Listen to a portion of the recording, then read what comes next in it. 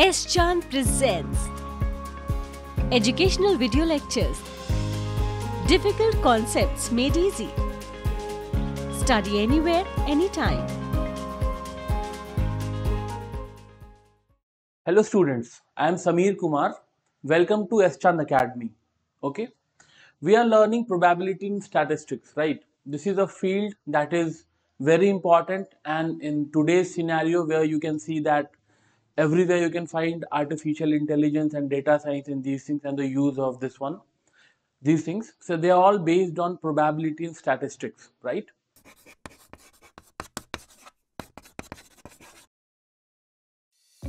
If you want to study this topic in detail, refer to the book by S. Chand Publishing. Link is provided in the description box. Everywhere you can find artificial intelligence and data science in these things and the use of this one these things. So they are all based on probability and statistics right? The maths behind artificial intelligence data science and all of it is that of probability and statistics mostly right? Where you have to predict things where you have to predict classify and do such operations right? So for emerging fields like data science and ai you have to be good in probability, statistics, and similar fields in mathematics. Okay, so continuing our journey, we'll be seeing Bernoulli's and binomial distribution today. Right now, I want to tell you that what is the use of learning binomial distribution or Bernoulli's distribution. Right.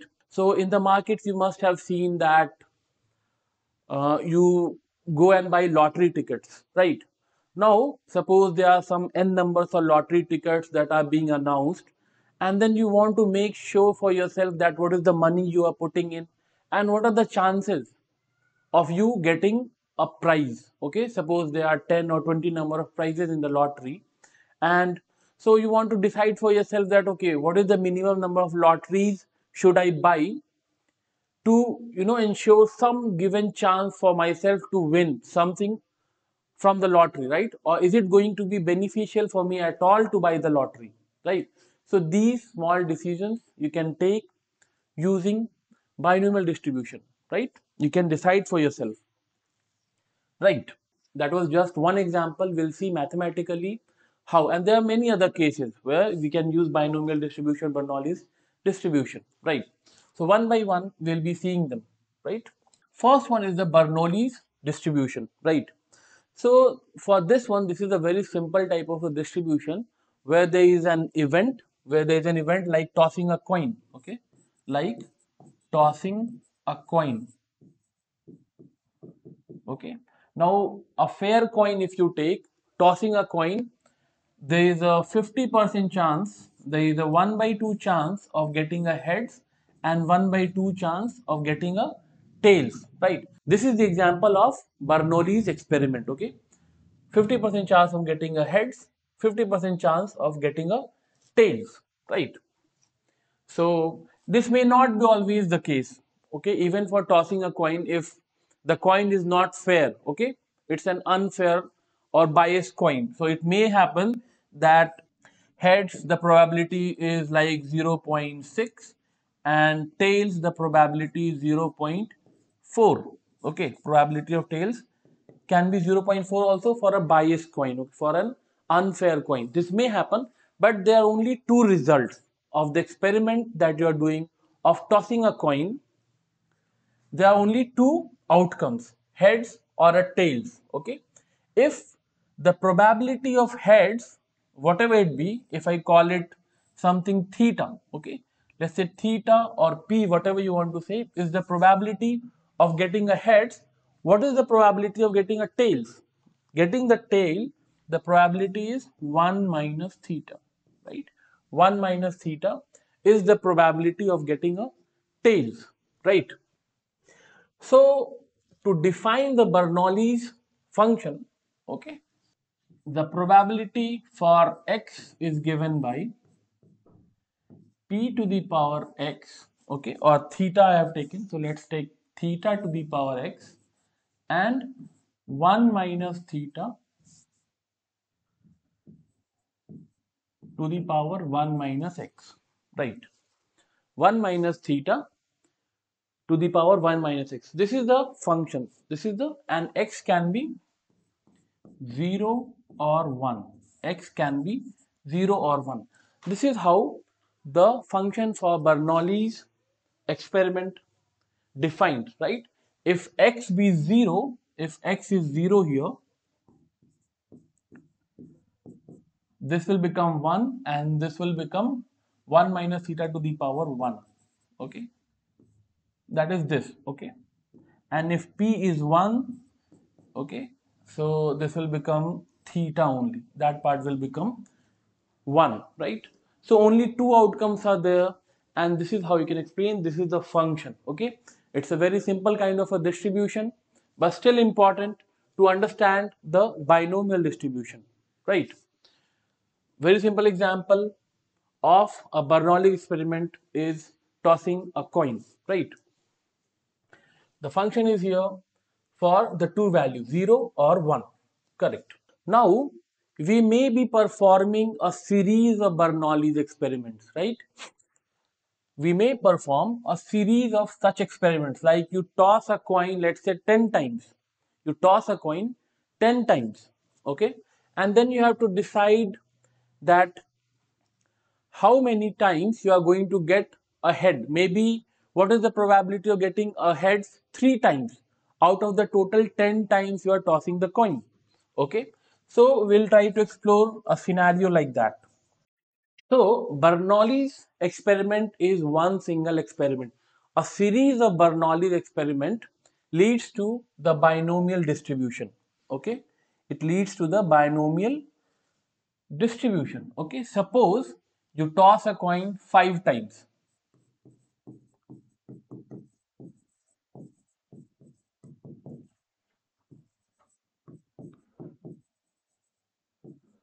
so now you see every time you toss all the experiments all the individual bernoulli's experiments they are independent of each other what is the result of the first toss is not going to affect the result of the second toss or the third toss, right? So they're all independent events, okay? Independent, each experiment has, each experiment has two outcomes. Like Bernoulli's, each of them is a Bernoulli experiment. Bernoulli experiment has two outcomes. So tossing a coin five times, okay, is an example of Bernoulli's. This follows the Bernoulli's distribution.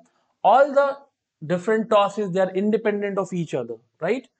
And each experiment has two outcomes, okay? And the probability of each outcome is fixed, okay? Has fixed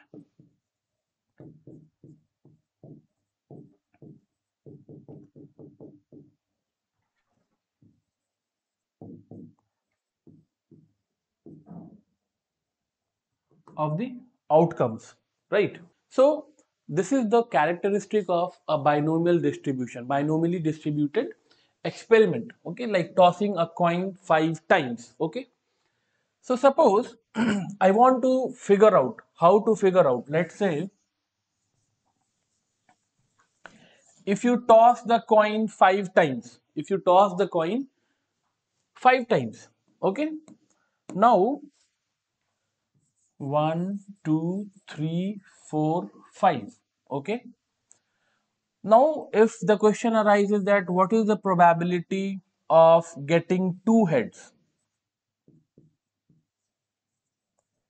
what is the probability of getting two heads right and suppose suppose the it is a fair coin okay it may not be a fair coin always but suppose for this example I take that it is a fair coin. Okay. That means the probability of getting a heads for any toss is 1 by 2 and probability of getting a tails is 1 by 2 again okay? Assuming this is a fair coin. The probability of getting a heads is a half getting a tails is a, another half right? Now getting two heads, I am trying to figure out what is the probability of getting two heads out of these five heads. Okay. So what are the possibilities? It may be something like heads, tails, tails, tails, heads. Okay. Or it may be like heads, heads, tails, tails, tails. Okay. And similarly, right? Similarly, there can be other order also in which you can get two heads and other three are tails, right? If I use permutation and combination, the total number of these arrangements, the total number of these arrangements is what? The total number of toss is 5, okay? So it is like the number of ways you can arrange two heads and three tails in a row, right? That number is this number n how many such possibilities are there can be written as 5 factorial upon 3 factorial 3 tails and 2 factorial here 5 factorial upon 3 factorial upon 2 factorial right so this is the number of ways okay this n here the number of way you can arrange two heads and three tails in a row is 5 factorial upon 3 factorial upon 2 factorial, right? Fine. And what is the probability of having one such arrangement? Okay, because they are all independent events, they are all independent events. The probability of any one happening, let's say this one, probability of this thing happening is what? Probability of the first toss being a heads is 1 by 2 okay probability of the second one having tails is 1 by 2 again okay third one tails is 1 by 2 1 by 2 and 1 by 2 okay? All the events they occur with the same probability and I'm simply multiplying the probabilities. Why? Because the events are independent okay? These are all independent events. That is the property of the binomial distribution only right? So the probability of two heads is this is the probability of any one of these happening any one of these happening. This is the probability. 1 upon 2 whole to the power 5 and how many such arrangements are there? These many right? So i'll multiply by 5 factorial upon 3 factorial upon 2 factorial right?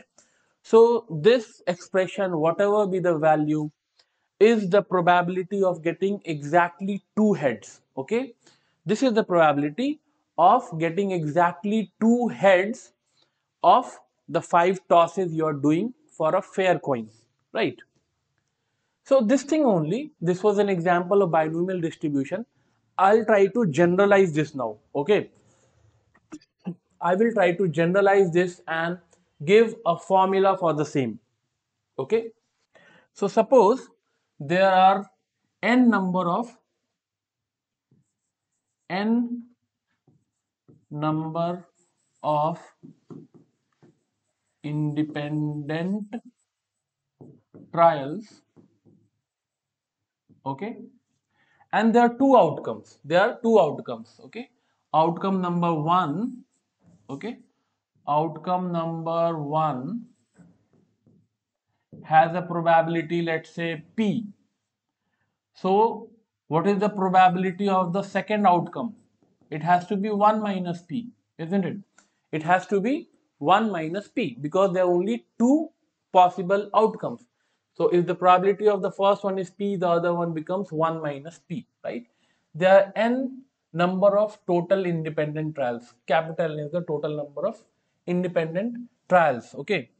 Now, if someone says that what is the probability of getting R, getting R number of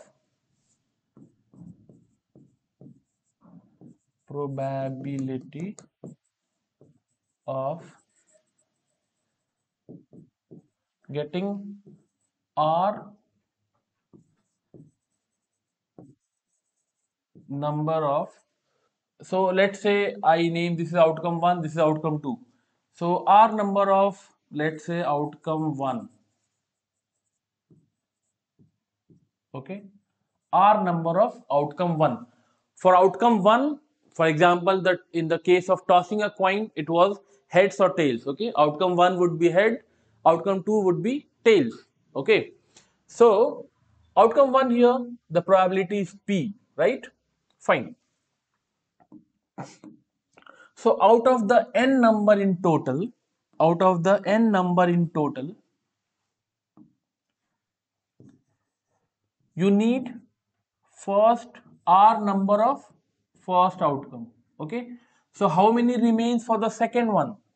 n minus r, right? That means you need n minus r numbers of second outcome, right? Fine the probability of this one, the first outcome is P, the probability of the second outcome is 1 minus P, isn't it? Right?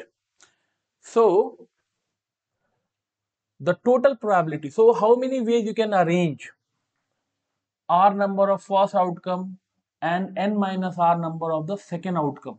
So again, the number of ways of arranging the probabilities will be N CR p to the power r 1 minus p whole to the power n minus r.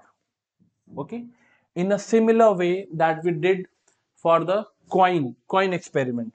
Okay? So yes.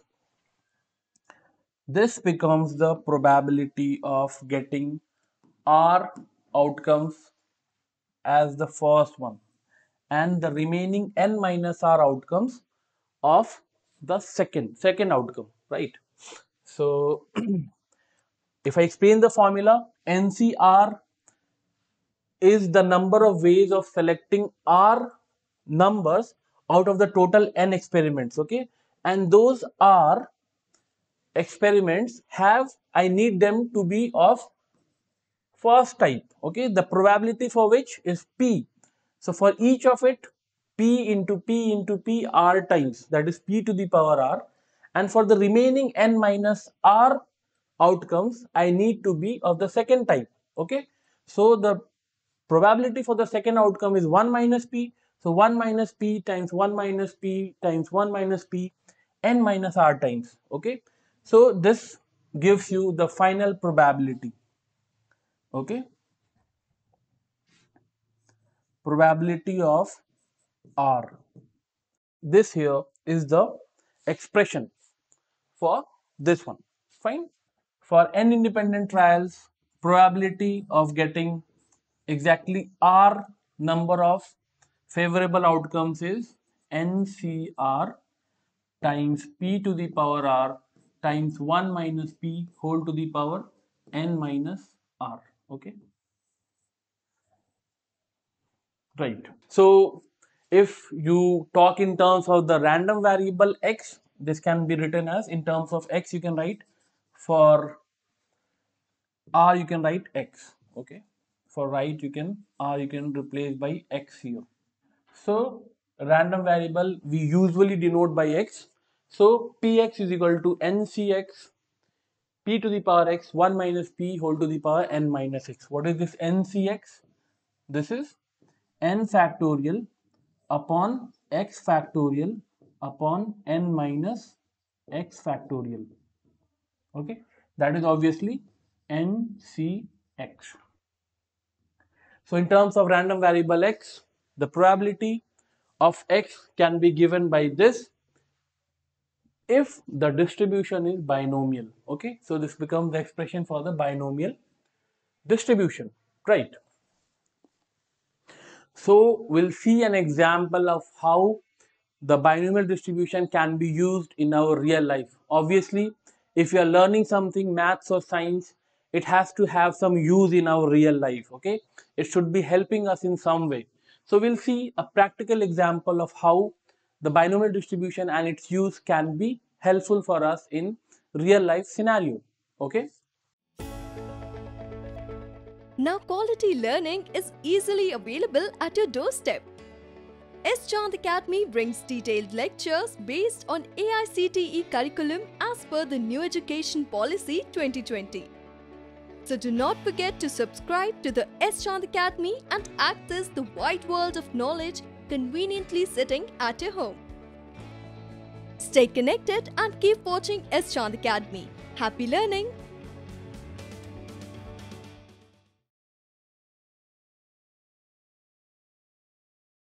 Dear students, welcome back to. Chand Academy. I am Samir Kumar. We are seeing a real life scenario, an example of how we can use the binomial distribution, right? So we have to find the probability that 7 of 10 persons will recover from a tropical disease if we can assume independence and the probability is 0.8 that any one of them will recover from the disease okay so the question is saying that there are 10 people, there are 10 person, okay. The probability of one person recovering, okay, the probability of one person recovering is 0.8 here, okay. So P here becomes 0.8, okay. The probability that a person will recover, okay. So suppose 10 person are affected by the tropical disease. What is the probability that exactly 7 that exactly 7 so if i have to go by the formula the probability of x for a binomially distributed function is n c x p to the power x 1 minus p whole to the power n minus x, right? So if I have to go by this formula for binomial distribution, I can find, I have to find here for x being 7, okay? I have to find for x is equal to 7. So I can write p x is equal to 7 will plug the values. What is n here? n is 10, okay? For this question, n is 10, that is the total number of people.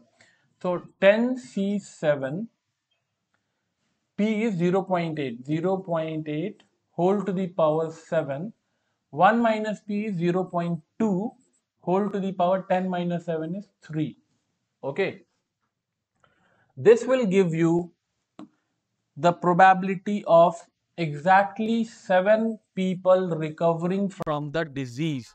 Okay. So you see how in the field of medical science also suppose you know there is a epidemic or pandemic or some something like we had corona covid right? So the statistical analysis that like this can be useful to analyze the effectiveness of a medicine or how to approach a particular scenario in the case of a disease outburst okay? So this is a small example that 10 people were suffering the probability we test the the drug or whatever medicine we have created we test on a person we find that okay the probability on an average 8 people recover out of 10 people. So that gives you the probability of a person recovering that is 0.8 okay? So for this scenario 7 people exactly 7 people will recover from the disease. This is the probability. If you want to find out the numbers uh, 10C7 is going to be what? 10, 9, 8, 6. So this comes out to be approximately 0 0.2. Okay. That means there is a 20% chance, there is a 20% chance that given the scenario where a person recovers 8 times out of 10, exactly 7 people out of 10 suffering people will recover. 20% is the chance right? This was an example of binomial distribution. Fine. Thank you. If you want to study this topic in detail refer to the book by S. Chand Publishing. Link is provided in the description box. If you found our video interesting please like share and subscribe and do not forget to press the bell icon.